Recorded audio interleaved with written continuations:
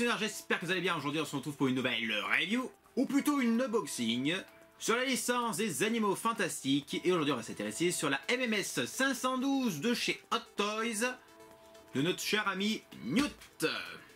En espérant que le HS sera à la hauteur et beaucoup mieux réalisé que la version de Grindelwald. Parce que ça a été une grosse déception quand même. Au niveau du packaging, on reprend le même que celui de Grindelwald. Voilà, un visuel un petit peu argenté à l'arrière avec euh, bien sûr un fond bleu et quelques bordures dorées qui rend tout ça très super classe. Voilà, avec le titre du film et le nom du personnage en haut. Ici nous avons donc le logo de Movie Masterpiece et de Hot Toys. Sur les côtés, comme dans l'autre l'autre figurine, c'est pareil, c'est marqué les animaux fantastiques et le nom du personnage. À l'arrière, nous avons donc les warnings, euh, ainsi que voilà tout ce qui est patati patata. on va pas s'embêter. Là, pareil, animaux fantastiques. Là, c'est pareil. Et là, c'est pareil. On ouvre la boîte comme ceci, comme une boîte à chaussures. Ici, nous avons le cast crew, la réalisation. Hein, donc voilà, qui a fait quoi, qui a fait ci, qui a fait ça. Voilà, donc très bien présenté. Et là donc nous avons ici la figurine euh, qui est franchement euh, pas mal euh, accessoirisée. En tout cas, il y a pas mal de choses, beaucoup mieux, beaucoup plus que la version de Grindelwald. Alors, tac, j'ouvre ceci. Alors on a pas mal de trucs, on a une valise, je, la vois un petit peu là, elle est juste magnifique. Je ne regarde pas encore la figurine, je vais m'occuper des accessoires. Ah, la, figure, la, valise fait son poids. Alors, les accessoires. Voilà. Ah, et il y a le socle aussi. J'oublie toujours le socle. Ça, c'est la tradition dans ma chaîne. Oubliez toujours montrer le socle. c'est important. Ce qui permet de faire tenir la figurine. Alors ça, je vais mettre ça pour l'instant. Ici. Alors. Bah, je vais commencer avec le socle. J'ai en main. Tac. Oh, le socle. Il est simple, ça représente, ça représente un trottoir hein, dans, une rue de Londres. Voilà, Londres ou Paris. Ou New York. Je ne sais pas. Alors, hop, on insère ça comme ça. On a des mains bien texturées. Comme d'habitude, choteuse, je ne fais pas trop de soucis euh, de ce côté-là.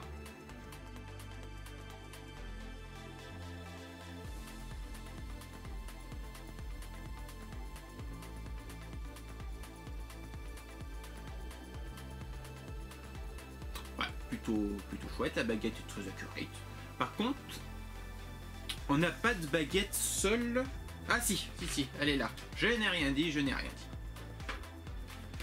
Alors après, dans les accessoires, là, on a des choses plutôt bah, chouettes. Alors on a une petite carte Nicolas Flamel.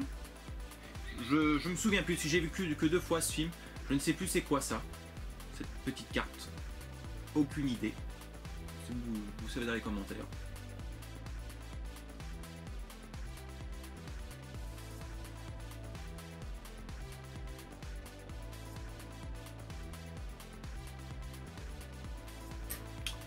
Ensuite, un petit bouquin. Oh, ah ouais, ouais, ouais. Ah ouais, ils ont fait vraiment l'effort d'imprimer toutes les feuilles.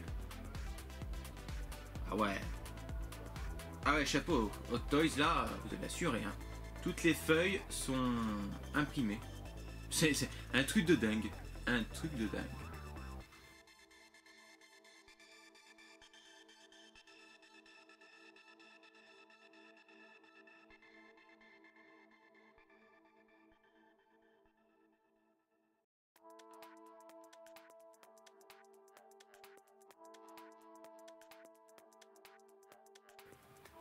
Chapeau Toys, franchement là, euh, vous me... Chapeau. Ensuite, la baguette, donc seule. Heureusement qu'ils nous mettent deux baguettes, hein, parce que... Voilà. Bon, elle est moins travaillée que celle de Grindelwald, bah après c'est normal, hein, c'est la baguette euh, du personnage, mais j'ai une petite préférence pour celle de Grindelwald.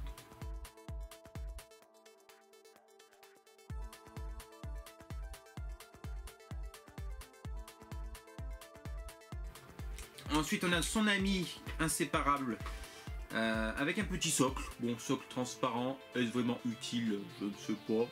la figurine, donc. Elle est pas mal, mais euh, voilà, c'est. C'est des petites figurines, quoi. C'est. Ils peuvent pas se rater dessus, quand même. Voilà, ce serait très fort.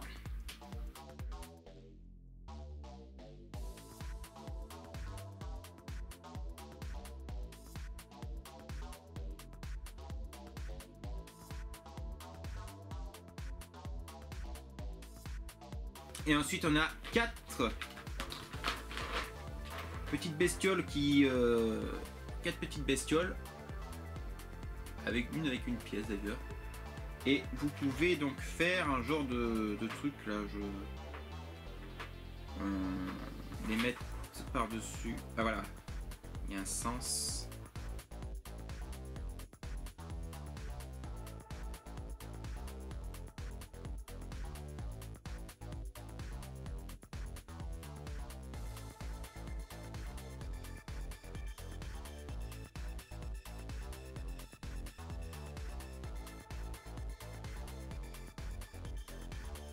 Ça tient bien, ça tient bien. C'est marrant, c'est marrant. Et ensuite, donc la valise. Ah, la valise, franchement. Wow, en plus, ils ont mis un petit truc dedans pour faire croire que. Ah ouais. Ah, et, ah non, et les amis, la valise. Ah non, non, elle est en plastique. Tellement que c'est super bien réalisé, même au toucher, je croyais que c'était du cuir. J'ai dit non, allé jusqu'à là. Non, c'est c'est euh, c'est du plastique. Mais c'est super bien réalisé. Ouais. Bluffé là, là euh, franchement ils m'ont ils m'ont vraiment bluffé. Superbe valise, hein, franchement.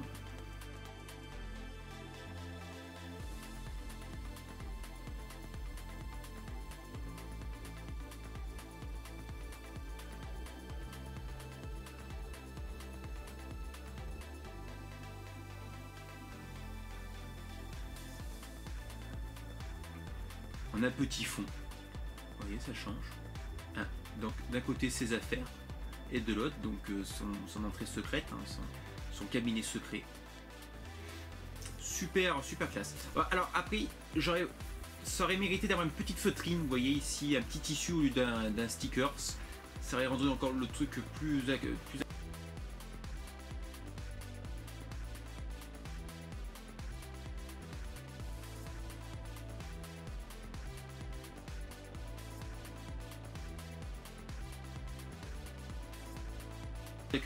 On a des petites tiges ici pour éviter que la, valise se referme. C'est super bien pensé.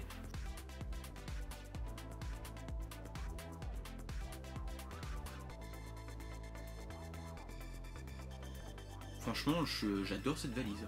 Elle est hyper classe. Bah, limite, euh, la valise euh, vole la vedette de la figurine. Et donc, enfin, la figurine, donc elle est juste ici, je vais la prendre. Voilà. J'espère, bon normalement, non, ça ci elle est réussite, hein, le visage euh, est réussi. Normalement, enfin après voilà, c'est ce que d'après ce que j'ai vu en vidéo, mais bon, après les avis euh, divers, des- après il y a toujours des avis euh, divergents, hein, bien sûr, hein, c'est normal, le goût et les couleurs. J'essaye. C'est super bien emballé comme d'habitude chez Hot Toys. Peut-être un peu trop d'ailleurs.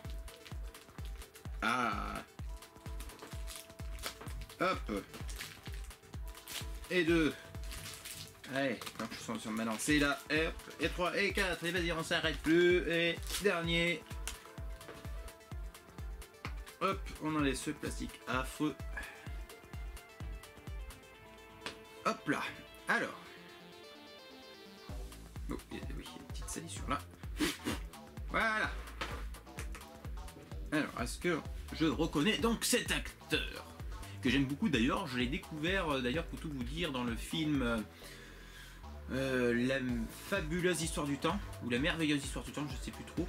C'est un biopic sur la vie de du, grand scientifique, devrais-je dire, de l'astronomie Stephen Hawking, qui nous a quitté d'ailleurs il n'y a pas très longtemps, il y a deux ans, un an ou deux, je crois. Il joue super bien. Le rôle est juste, il est juste somptueux dans ce rôle. C'est vraiment un très grand acteur. Alors.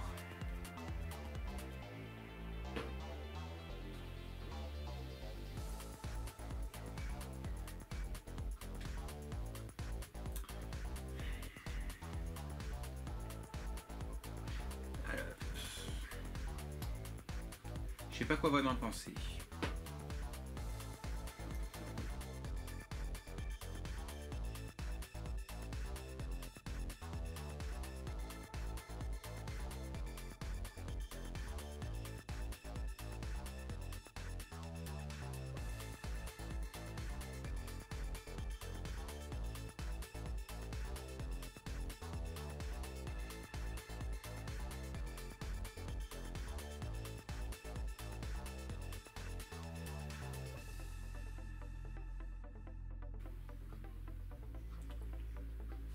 La, figurine est belle. La figurine est belle. Le tailoring est, magnifique. Le HS est joli. Il est joli. Mais pour moi, il est pas 100% de ressemblance avec l'acteur. Il est beaucoup mieux réussi que, celui de Grindelwald, ça c'est sûr et certain. Grindelwald, disons qu'il a 50%. Pas plus. 50-60% si on veut être gentil. Lui, je dirais qu'il s'approche des 85%, 85%. C'est au niveau de sa bouche. Je trouve qu'ils n'ont pas super bien reposé. Vous savez, il a, une expression dans la bouche. Elle part peut-être un petit peu de travers. Et j'aurais voulu la retrouver, cette expression, dans, ce, sculpt. Là, je trouve, pense, trouve pas qu'on la, qu'on la retrouve vraiment. Les cheveux, sinon, sans ça, sont super accurate. Hein. c'est bien, bien fait. Euh, Ouais, il a les cheveux assez. Euh, appris, légèrement plus blondiné quand même, hein, légèrement plus clair au niveau des cheveux. Ça fait pas trop de boss parce que j'avais peur un petit peu que ça faisait une bosse comme un peu une tête d'éléphant man. Ça va. Non, le, HS est correct. Il est correct. Euh, on a déjà vu pire, hein, la, preuve avec le Gun de World. Mais euh, après, voilà, les avis des GH. Bien sûr, comme je dis, je n'ai pas réponse, la réponse absolue. Hein, c'est que mon avis.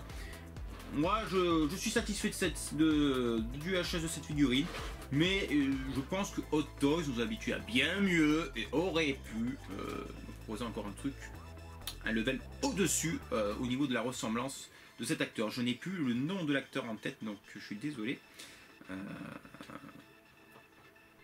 Ouais, ça reste une belle figurine. Elle est sympa. Elle est sympa.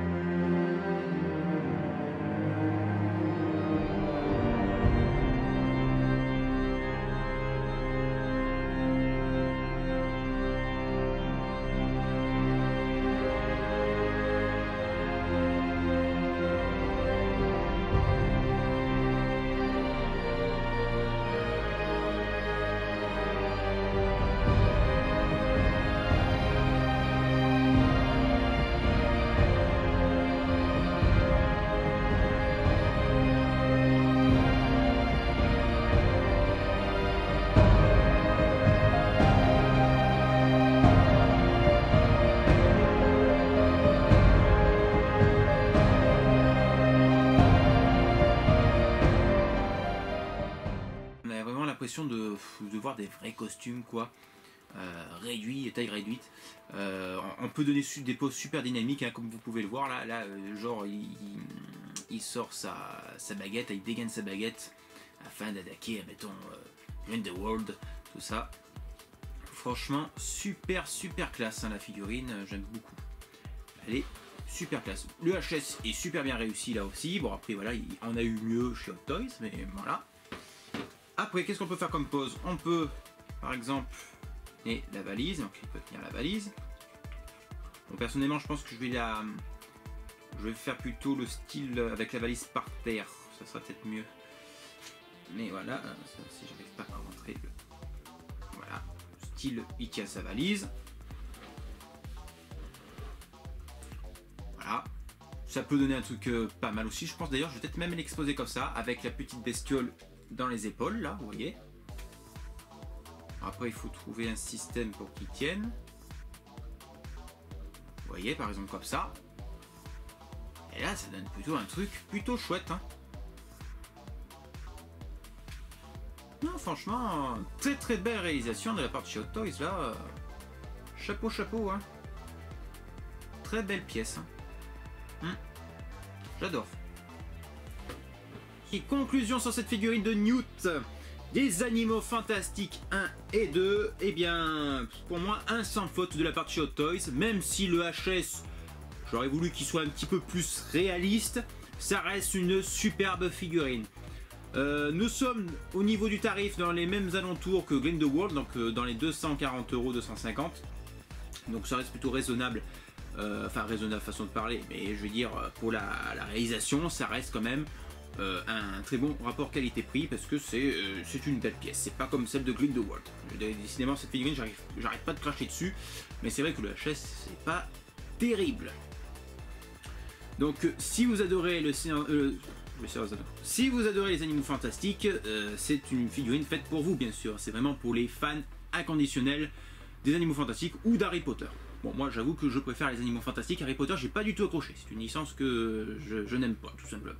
Si je devais attribuer une note sur cette figurine, je lui donne bien un bon 9 sur 10, hein, parce que ça les vaut amplement.